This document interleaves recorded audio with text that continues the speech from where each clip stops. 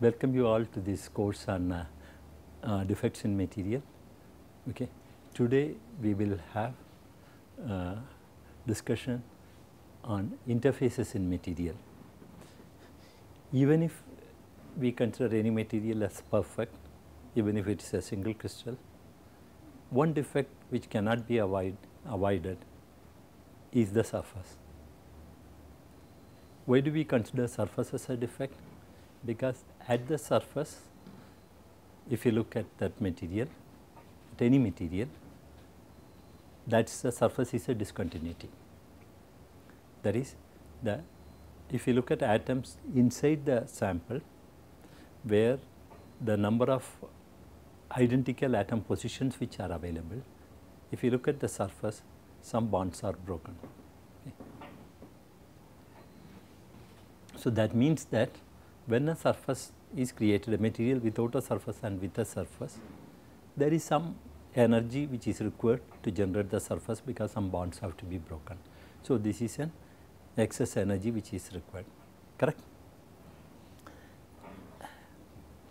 And this energy which is required are the energy which is uh, available to the surface or the surface energy is called as the surface energy that is per unit area. Okay. This is what we use as gamma, the surface energy. function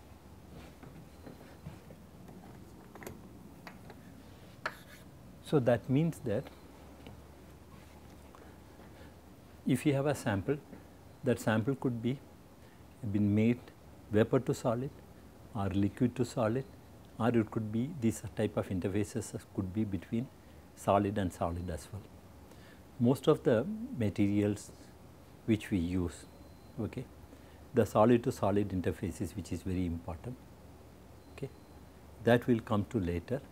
But essentially it does not matter what is the method by which we are making a solid sample, okay, an interface is invariably created.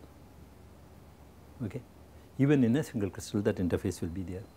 So, what will be the free energy of that sample if we consider? That free energy will be the total free energy depends upon G 0 plus gamma into A. A is the total surface area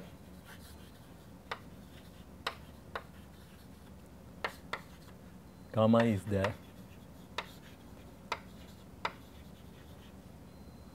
surface energy, G is the bulk chemical free energy. Okay. If you look at uh, uh, this expression, okay, how can we calculate this uh, surface energy? Okay. Is there any experimental way in which it could be measured? One can think of a way in which a thought experiment which we can do it is, you take a wire of a sample, you apply some load, try to pull it. Then when we do, there is going to be an increase in area which is going to take place, right. So, the total energy which we are putting into that sample is F into suppose dA is the F into dA becomes the total energy increase. Okay. If this energy is just sufficient, assume that to balance the new surface which is being created. Okay. It is not doing anything else other than just to balance that surface energy.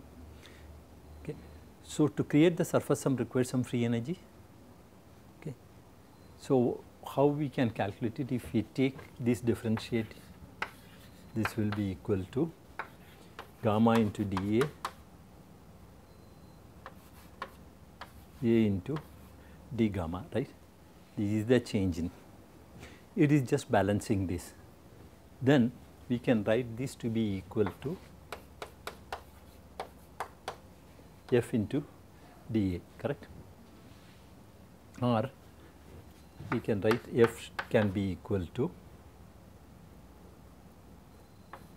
gamma plus a into d gamma by dA. This is how this expression. So, this is nothing but the force okay. and gamma is the surface energy. Okay. This is the rate at which the surface energy changes multiplied by the area. This is how the force will be varying. Suppose we assume that it is uh, from the liquid to in a liquid if we consider it, then what is going to happen is that in a liquid the surface energy is independent of the area correct. So, this term will turn out to be 0. So, this will become F will be equal to gamma. Then in this case we can consider this as a surface tension right. The force when it is a surface tension and surface energy the same can be used.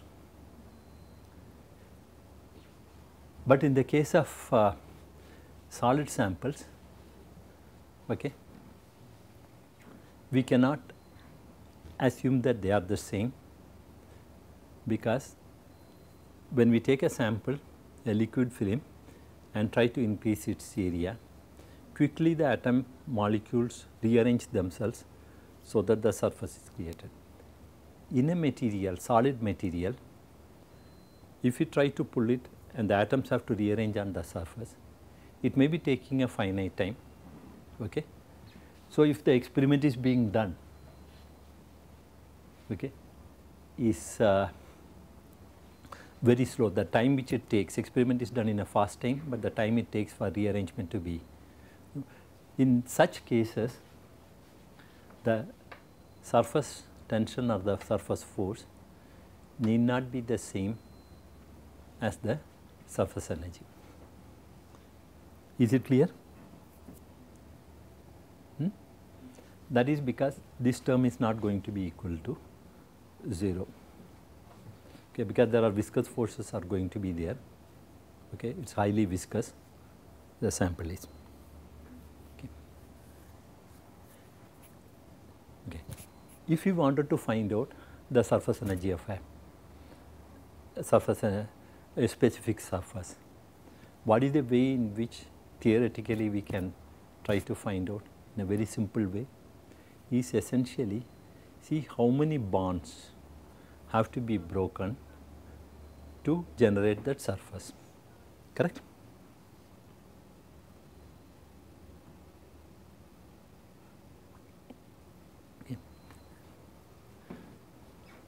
Here in this particular case in FCC lab there are three types of surfaces which are being considered. Okay. That is with uh, low index plane 111, 100 or 110 type of surfaces. Okay. 111 in FCC is the close packed surface. In this case, if an atom is sitting at for this atom if we consider it, the nearest neighbors which should have been there if another layer is there on top of it would have been 1, 2, 3 atom positions it would have occupied. So, these three types of bonds have been broken compared to toll coordination which is going to be there, correct. With respect to an atom, if you consider a close packed direction, there are 12 are there, out of which 3 are getting broken.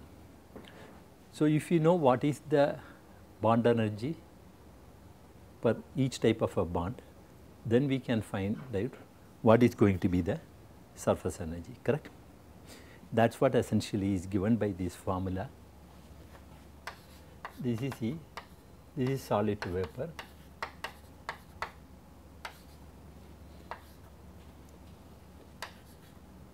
N, where N is the number of uh, bonds which are uh, broken, broken bonds. Okay. So, that means that depending upon the L is the latent heat of sublimation for the atom to sublime from the surface, which we assume it to be a constant for the material. So, that means that depending upon the number of bonds to be broken, which is going to change depending upon the nature of the surface, okay, the surface energy will change. Correct. Close packed plane will have the uh, lowest surface energy. Okay. Is this clear? Okay. Then this energy which we talk about is the surface energy. This surface energy is not the same as the free energy of the surface. The free energy when we write, we write uh, plus PV minus Ts, correct? Write it. So, if PV is uh, constant, then essentially E is the surface Ts. So, Ts is where that entropy term comes into the picture. In the case of a surface, the entropy term because lots of bonds are getting broken, atoms will be moved from their positions. So, the contribution of entropy is going to be high and that is going to change from surface to surface and in addition to it lot of defects could be produced on the surface. Okay. So, when we try to calculate what is going to be the free energy of the surface that can vary okay, from surface to surface. Here in this table what is being given is the surface energy which has been uh, calculated close to melting point okay, for different type of uh, samples. Okay. And the cases which we have considered so far, what we have done? We have looked at close packed planes or low index planes which we have considered it. And when we look at uh, surfaces, two things which we have to consider. One, not only the energy of the surface and another is the structure of the surface. The structure part of it we will come later, but now we are essentially trying to concentrate on the energy of the surface. Okay. Suppose we wanted to find out what is going to be the surface energy. Okay. It is a high index plane. That is, we are we have so far we have considered with respect to one on one, which we have considered three type of surfaces we looked at it but we can uh, look at any surface which we can take. Any cut section can be a surface. It could be a high index plane so how do we find out the surface energy? From values which are known for low index plane the method which is adopted this is what is called as a broken bond model where you look at this surface. Here this is the uh, uh, simple cubes which are joined together. The bonds are broken at different places. Okay. What we are considering it is essentially any surface which we can consider it, a random surface could be considered as creating some steps on the sample surface, right. That is suppose a surface which is going to be there, low index one is the one which has got the minimum free energy, right. So, that is the one which you try to have. So, with steps if we try to create surface like this, the average if you look at each of these surface this will be a low index, only some step is being created. Okay. That means that closer to a step some bond breaking will be, the number of bonds which are broken will be slightly different. Using this number of bonds which are broken, we can try to calculate what is going to be the uh, surface energy in terms of the close packed plane. That in terms of with respect to this surface what is the angle theta which it does?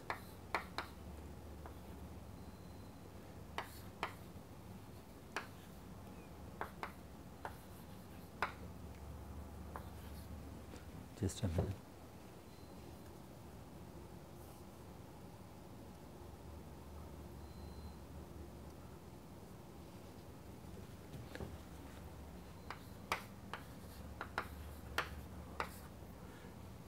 This is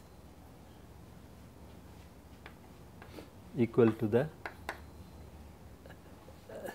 surface energy of any surface which we can consider it. Okay. This is with respect to a low index plane. So, depending upon the angle which makes the step which is created this plus this is a low index, this is essentially a simple geometry with which it can be calculated.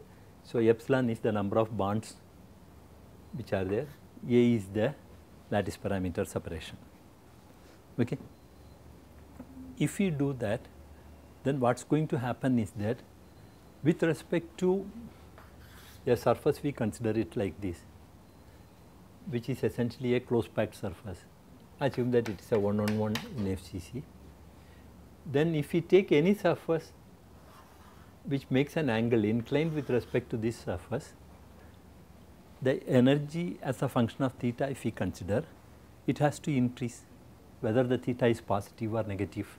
That is what essentially is given there. Theta, this is positive side and this is negative side. Okay. This is how the energy is going to change. Okay.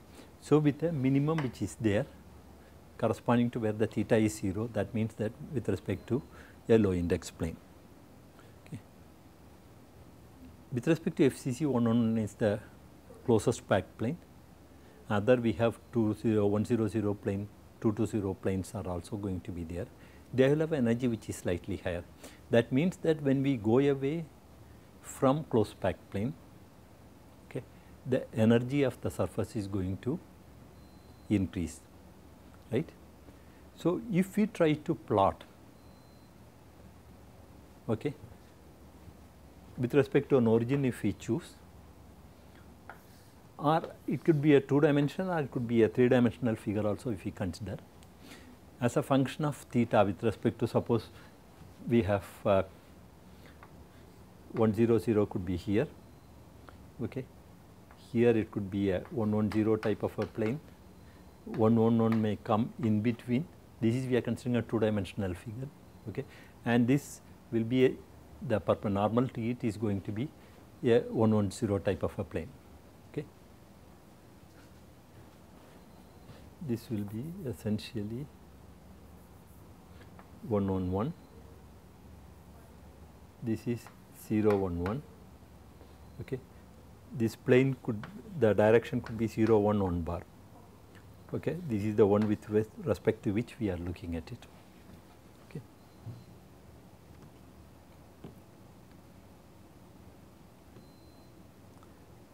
then what's going to happen is that we will be getting a plot which we call it as a gamma plot. Gamma plot is nothing but trying to find out various surfaces if a material can have, what will be the, how will be the energy be changing. Okay. The vector from origin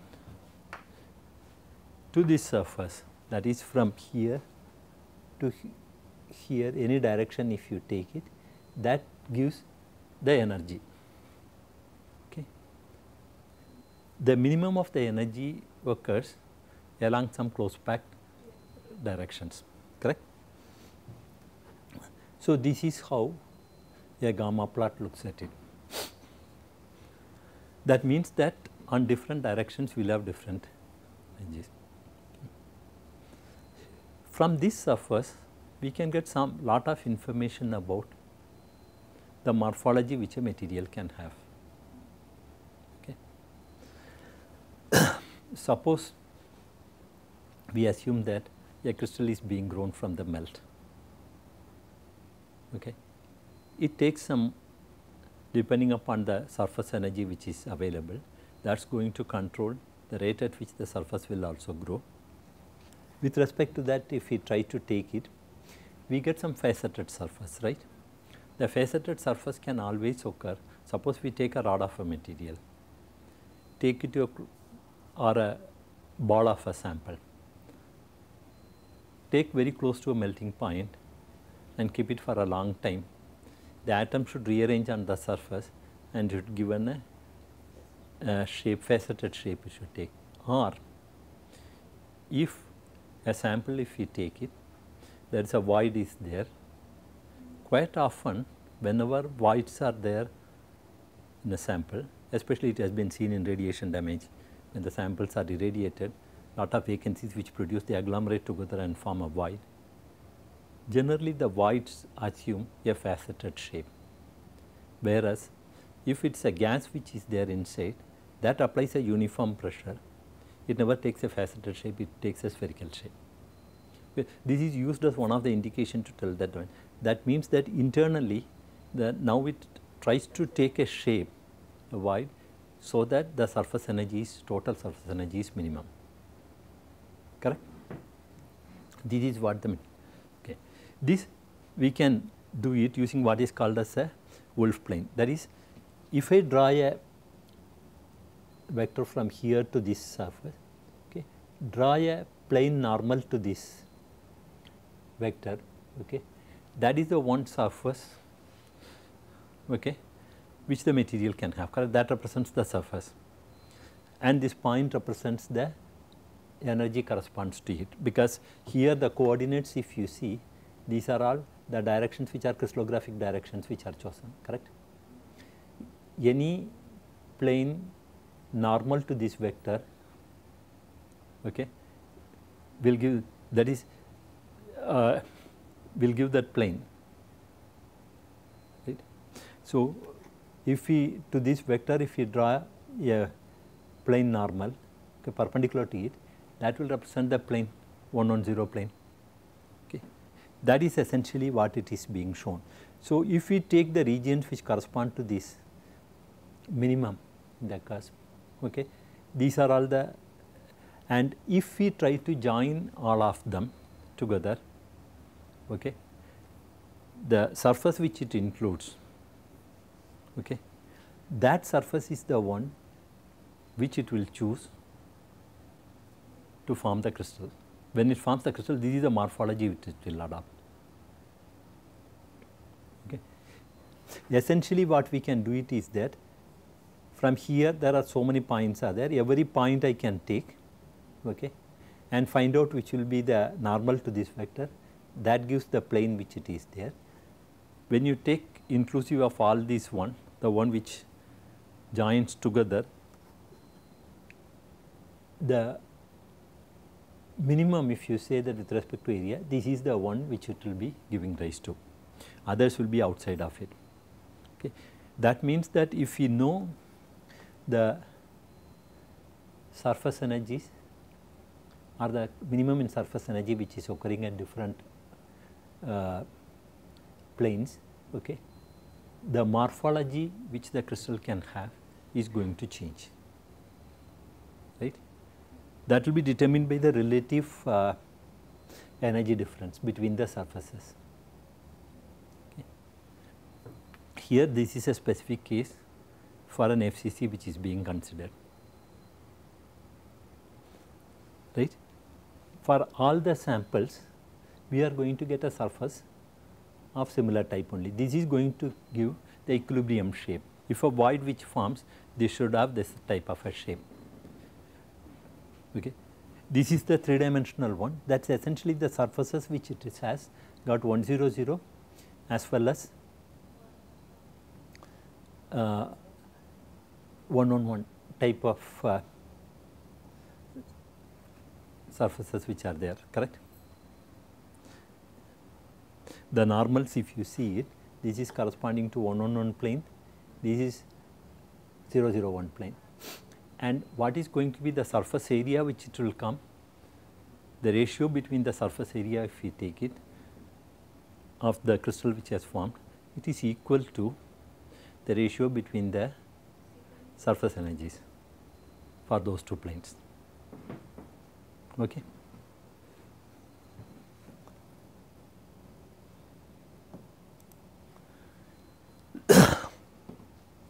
Okay. Before we come what is the consequence of this? One of the consequences if a crystal forms an FCC crystal, it can have 100 surface and 111 surfaces with which it can form. If you take a polycrystalline material okay, and which has been heavily deformed, we anneal it at high temperature, it tries to form a grain, right. What is the shape the grain can have? This is the type of a shape the grain can also assume because it forms with surfaces okay, grain boundaries which are something equivalent to similar to surfaces with which it forms. Ultimate shape which it can have will be of this type with flat surfaces. Okay. This we will come to later. That is why another way in which we can consider it is if we try to join grains of these shapes along surfaces, we will be having a polycrystalline material. Okay. Other is, uh, so we have, so far we have talked about the type of surfaces. Okay. This is with respect to energy which we have considered. Okay. What is the equilibrium shape? Okay when a crystal is grown from a melt okay, or it is from a vapor if we are depositing and trying to form.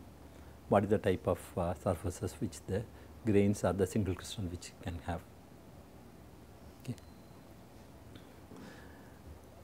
And this we are considering considered on the basis of a uh, broken bond model. This is called as. That is the surface energy is essentially decided by how many bonds have to be broken. Correct. One important consequence which happens is that if we here we have considered that this is all continuously increasing and coming to a 0 another one. Is it has to be that same way? It is possible that there are some regions or some other direction for which maybe you assume this to be in this particular direction. The interface is such that the number of bonds to be broken is less compared to other regions. There could be small cusps could be occurring at different points, correct? That means that whenever we have different types of interfaces which form grain boundaries form, as a function of angle theta if you try to calculate misorientation depending upon the type of nature of the boundaries which we will come to later we will address it in the next class that there could be some minimum in energies which could be seen. Okay. That comes from directly from this gamma plot. This gamma plot is one important uh, one to understand not only the equilibrium shapes which it will take, how the energy of the surfaces are different surfaces are changing okay that information also we get it okay. Before we go further let us look at what all types of interfaces which we can have in a material. Suppose we take a single crystal of a material. One interface which it is always going to have is uh, surface. In addition to it, suppose the material has got a low stacking fault energy, stacking faults could be produced in the material and the stacking fault to create the stacking fault okay, some energy is required the surface energy will be there. That is because the fault itself can be considered as nuclei of an another crystal. That means another crystal is formed within this so an interface is created so that interface energy comes into the picture which we call it as stacking fault energy. Correct?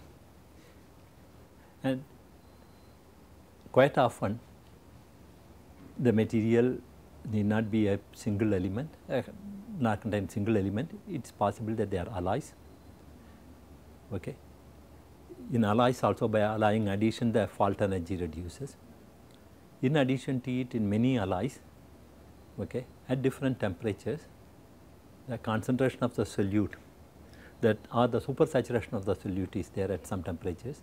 So, precipitation occurs. Whenever a precipitate forms, there is an interface between the precipitate and the matrix and this interface also okay, depending upon the type of uh, interfaces which we look consider between the second phase that is suppose a precipitate which forms like this okay. It can have uh, with respect to this interface that can have some energy. It can be a spherical one that is one. It could be a cuboidal shape, it could be a plate shaped. Then there are two types of interfaces or more than type of interface and each interface will have different interfacial energy just like what you have on the broken bond model we have looked at it. Because of this equilibrium shape what it will take is decided by the total free energy minimization. Okay. That is what it is going to take place. So, first an interface is created. Then what is the role of this interface? There are many roles which this interface play. As far as the mechanical properties are concerned, this interface can act as an obstacle to a moment of dislocations, correct? That is one.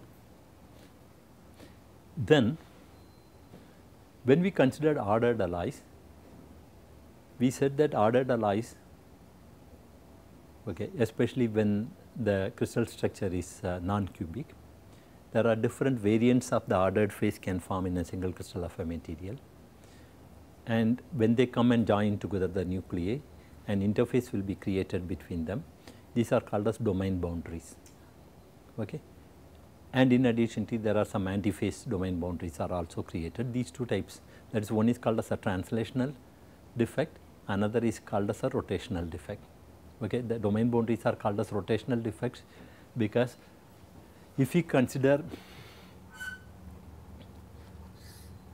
a tetragonal lattice if one and another nuclei forms okay these two when they form together the interface between them is this is between 110 type it can be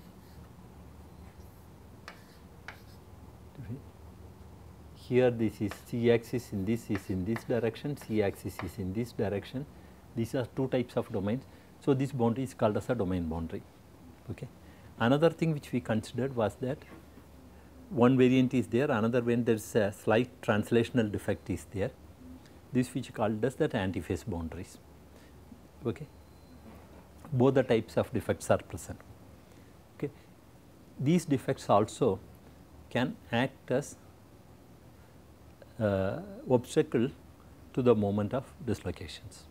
So, what is the strength of this obstacle will decide how much it contributes to hardening in the material. So, understanding these structures, the nature of the these obstacles interfaces are very important. Okay. This is as far as single crystals are concerned. So, single crystals are concerned one surface is going to be there in addition to a surface the type of defects which can be produced in the material.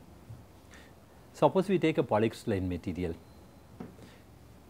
In a polycrystalline material each grain is like a single crystal but oriented differently. The interface between them okay, is the grain boundary. Okay. These interfaces there are a lot of classifications are there. If the misorientation between these grains are small, okay, we call them as low angle boundaries. If the misorientations are high, okay, we call them as high angle boundaries. Okay. Even on these low angle boundaries, depending upon the type of uh, misorientation, the classification which we use they are as tilt boundaries or they are as uh, twist boundaries. Similarly, on these high angle boundaries which we consider, some of these boundaries could be considered as a type of special boundaries. Okay. What are special boundaries? Suppose that boundary mismatch when the boundary come and meet even at high angle misorientation, it should be of a particular type of an interface which they create that it is like a low index plane if it comes between them, then it can have very small that is a cusp in the minimum energy the energy could occur. Okay, these are called as special boundaries. Okay. These are the CSL type of boundaries which we call which we will come to later what is CSL and all. Twin boundary is one simple example. If we take FCC twins from one to the other the angle between these boundaries, the misorientation between the uh, uh, unit cells, it is going to be very high around close to 50 or that order. But the boundary where they meet it is on one on one plane, it is an undistorted plane that is a perfect matching is there. So, if you look at the energy of that boundary it is going to be extremely low. You understand? Okay.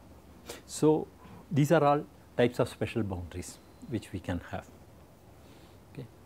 Then suppose it is a two phase mixture of a, which forms the polycrystalline material. Then between the two different phases there could be an interface between them. These are called as a interphase interface.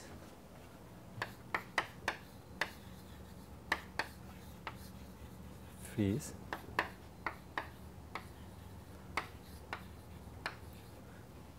interface correct. This is also another type of boundary. Okay. All these boundaries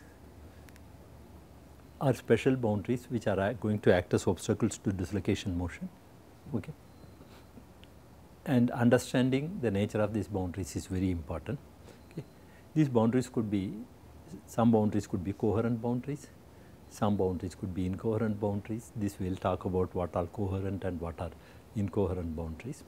Okay. Then another way at which these boundaries are considered is that like you look at the twin boundaries. Twin boundary is one in an FCC one on one plane is the twin boundary plane. Okay. There the uh, there is no mismatch it is a perfect matching. Okay. If there is a slight mismatch if you wanted to introduce we can introduce a mismatch by introducing some dislocations into these boundaries. Okay. Any boundary could be considered as made up of introducing dislocations. That is one model of a boundary is a dislocation model. Depending upon the number of dislocations which we introduced into the boundary, okay, the misorientations can change. Okay.